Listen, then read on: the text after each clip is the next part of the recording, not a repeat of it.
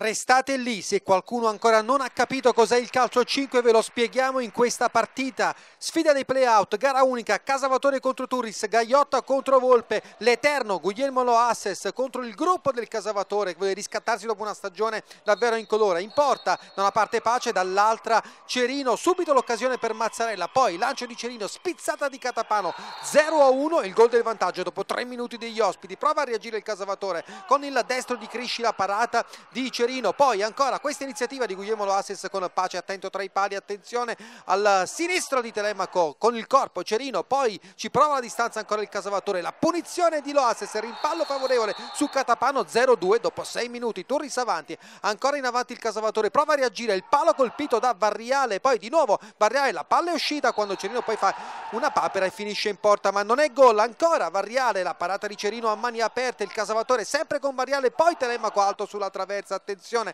sempre variale questa volta cresce il destro sul secondo palo il gol dell'1-2 dopo 10 minuti lo assessa al volo la parata di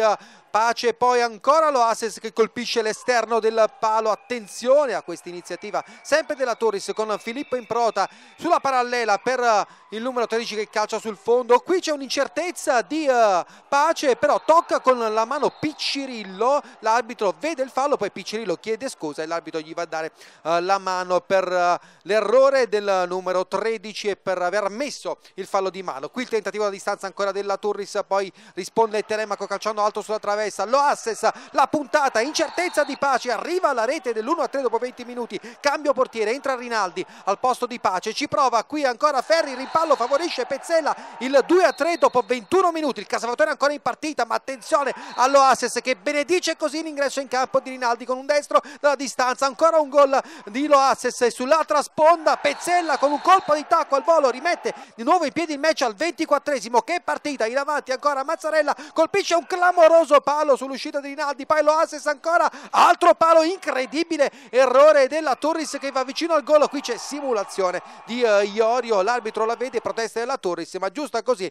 poi uh, arriva anche il cartellino giallo che chiude il primo tempo 3 a 4 il punteggio nella ripresa, subito un tentativo di uh, Catapano, poi ancora quello di Mazzarella che calcia sul fondo, risponde il Casavatore sull'altra sponda, cresce la palla per Luigi Mandragola, rimpallo, finisce fuori, poi ancora l'iniziativa Telemaco non trova la porta, attenzione qui qui con uh, Pezzella all'uscita di uh, Cerino, poi il calcio di punizione di Alessandro Improta, c'è una deviazione, la palla finisce in fondo al sacco, il gol dell'ex, non esulta Alessandro Improta, 3 a 5 il punteggio, non ci sta il Casavatore, ancora cresci dentro per Pezzella, sempre lui, il gol del 4 a 5 al nono minuto, di nuovo equilibrio in questa partita, Guglielmo lo assesta la parata di Rinaldi tra i pali, poi ancora il tentativo uh, qui del Casavatore, la ripartenza, lo assesta, guardate che fa, guardate che fa questo calcettista veterano, unico unico, immenso, il gol del, ancora del 4 a 6, poi Varriale sull'altra sponda risponde subito per il 5 a 6 al quattordicesimo minuto, è una partita infinita, una partita incredibile, ancora in avanti il Casavatore, ci prova qui con Rolando Mandragola, niente da fare, la palla finisce poi alta sulla traversa, altra ripartenza qui,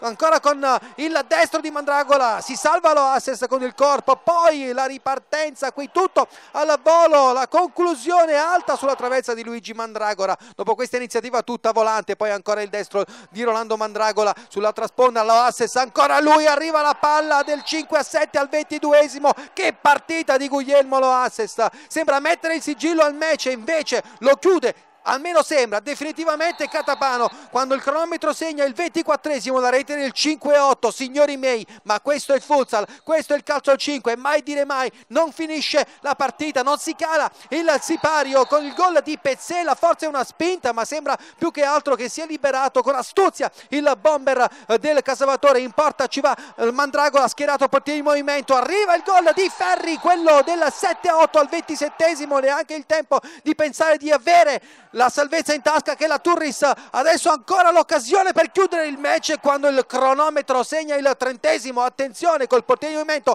ultimo assalto finale del Casavatore arriva il gol di Telemaco quello dell'8 a 8 dal ventisettesimo al trentesimo dal 5 a 8 all'8 a 8 che partita signori miei questo è il calcio 5 la disperazione di Guglielmo Loases la gioia di uh, Pezzella, si va all'overtime, tempi supplementari, due tempi di 5 minuti ciascuno, calcio di rigore per questo fallo di mano in aria di Filippo Improta che protesta, ma l'arbitro decide per il penalty, si incarica della battuta. Danilo Variale e il gol del sorpasso, il primo sorpasso del match, il 9-8 al 36esimo e poi attenzione nel secondo tempo supplementare ancora questa iniziativa di Guillermo Loasses con Paci che è rientrato in porta per l'infortunio di Rinaldi, poi uh, arriva invece il gol di uh, Telemaco, quello che chiude praticamente la partita, quello del 10-8, c'è ancora l'11-8 di Variale, può esplodere la festa del Casavatore, l'incubo fino a tre minuti dalla fine della retrocessione con una grande Torres, con un immenso Guglielmo Loasis che non è bastato il team di Rosario Volpe per raggiungere la salvezza e può festeggiare il Casavatore con il suo presidente.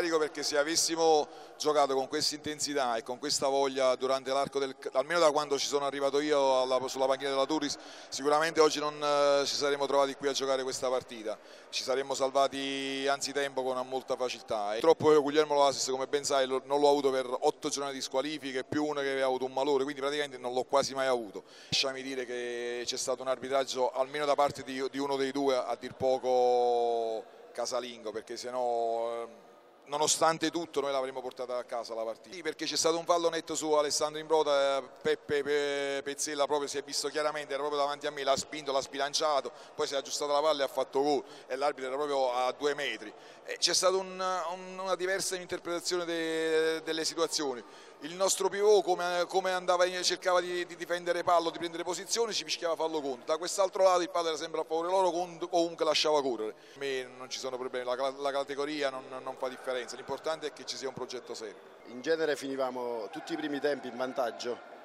per poi farci riprendere nel secondo tempo. Oggi è stato l'inverso, perdevamo nel primo tempo e nel secondo tempo invece siamo usciti fuori, anche se uh, siamo arrivati con uno svantaggio di tre gol però io ci credevo fino alla fine perché poi non può andare sempre, sempre storta. Eh, una volta la, la Dea Bendata ci è venuto incontro e ci ha aiutato. Io pensavo di mettere la partita su questo piano, sul ritmo e sull'intensità perché è una squadra lenta. Invece sono riusciti a venire fuori insomma, alla grande, complimenti a loro che ci hanno, ci hanno messo in difficoltà, insomma, merito a loro. Non meritavano forse questa sconfitta, se ci sono i presupposti per fare bene per fare meglio di quest'anno allora lo si porta avanti. Se no, insomma, più amici di prima, ognuno prende la sua strada. Hanno messo quello che durante l'anno non sono riusciti a mettere, eh, li ringrazio perché sicuramente alla fine retrocedere oltre danno la beffa perché è patetico, già secondo me questa squadra non era da queste, però sono tante, tante situazioni, tante cose concomitanti, li ringrazio, anzi devo fare un plauso, non, non parlo mai dei singoli giocatori, però secondo me eh, Pezzella